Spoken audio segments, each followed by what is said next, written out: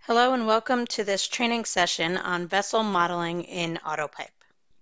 This picture shows a typical nozzle and vessel configuration showing the pressure thrust acting on the nozzle and the interconnecting pipework.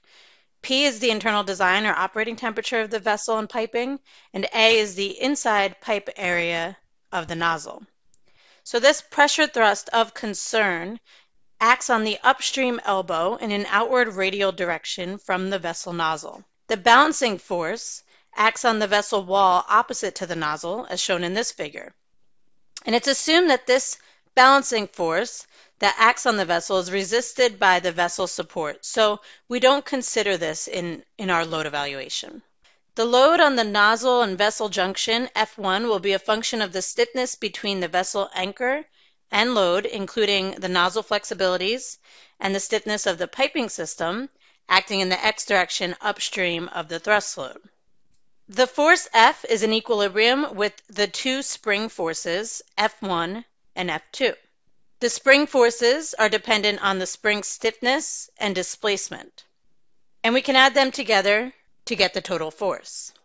Since displacement 1 and displacement 2 will be equal, we can denote it by a single variable and solve for F. And if we solve for the delta, we can get this equation. Now if we take this delta and substitute it back into equation 1, the pressure thrust load on the vessel nozzle junction is shown here. If the piping system on the other side of the applied load of spring 2 is stiff due to an anchor, for example, then the majority of the pressure thrust will be absorbed by the anchor. So the nozzle will experience very little direct axial stress. And this can be seen from this equation. A greater K2 stiffness will result in a lower thrust force, F1. So in this case, it would be conservative to include all of the pressure thrust in our analysis. But if the piping shown by spring 2 is flexible, maybe there's expansion loops, or it's a small diameter pipe with bends, then the nozzle will see more of the force due to the pressure thrust. So it would be appropriate to analyze the local vessel and nozzle stresses due to most of this pressure thrust load. So in this course, we'll look at two methods for modeling vessels in AutoPipe. First, modeling a vessel as an anchor, and second, modeling a vessel as an equivalent pipe. When modeling the vessel as an anchor, the first step is to model the nozzle as accurately as possible. If it's a flanged nozzle, model the mating flanges correctly, and then model the protruding length of the nozzle with a small pipe run. When modeling the nozzle, the length between the nozzle flange and vessel wall should be modeled as a pipe element in AutoPipe. The nozzle element should just be a very short section. The shorter it is, the more accurate, and it should be centered at the wall of the shell since it's meant to model the bending flexibility of the shell wall. So the best way to model the nozzle flexibility element is to start it at the outer face of the vessel and end it at the inner face. Therefore, the total length will then be the vessel thickness. We can use the nozzle element in AutoPipe to estimate the flexibility of the vessel wall. If we assumed a rigid nozzle, this attracts too large of reaction forces to this point, and it's too conservative for vessel design. So we have this nozzle flexibility element that makes it easy to estimate the shell flexibility using several methods.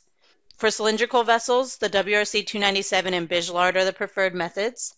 For cylindrical tanks with large diameters, the API 650 method is preferred. For reduced T branches, the ASME Class 1 piping formula is appropriate. And for nozzles on spherical or torispherical heads, the spherical method is most appropriate. And this is based on Bijlard and is also a part of the PD 5500 British Piping Code. All of these methods are available in the nozzle dialog box. The nozzle element is really a modified and simplified expansion joint element while the expansion joint element has six stiffnesses, the nozzle element only has three. The three stiffnesses are radial, circumferential bending, and longitudinal bending. The two shear stiffnesses and the torsion stiffness, which are in the expansion joint component, are not applied to the nozzle component. Also for the nozzle component, the radial load due to pressure is not added, as in the case of the expansion joint. The radial pressure thrust can be added automatically in AutoPipe nozzle when calculating your nozzle stresses if you choose to do so. AutoPipe is not going to calculate stresses in the nozzle or in the connected vessel, so it's recommended that the anchor reaction forces that are calculated in AutoPipe be used in AutoPipe nozzle for evaluating your nozzles, as well as your vessel or shell stresses per the applicable codes. And AutoPipe can transmit these forces directly to AutoPipe nozzle to minimize errors.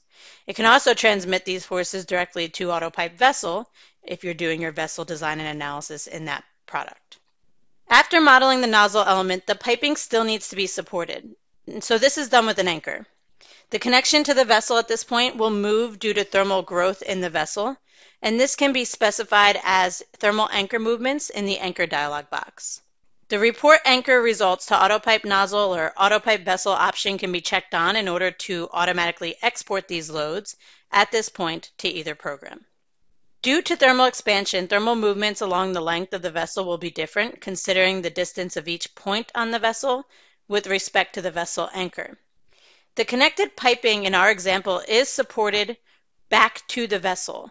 So to include thermal expansion effects of the vessel on each pipe support, imposed displacements are applied to each support in our model. After the model is analyzed, notice that the nozzle movements due to thermal growth of the vessel that have been specified as thermal anchor movements can be seen in the displacement report in load case T1 at anchor point A11. So there are a few pros for this method. It's very easy to model and the nozzle loads can transfer directly to autopipe nozzle for the analysis of the local shell stresses or autopipe vessel to include the local nozzle loads in the vessel analysis. But there are also some cons. It's hard to accurately predict movements due to loads other than gravity and temperature, such as wind or seismic. So for any models including occasional load cases, you really shouldn't use this method. And this method also produces a much stiffer system, which can affect the dynamic results. So if you're also running dynamic analysis, this might not be the best method to use. Let's go to our workbook example to go through method one.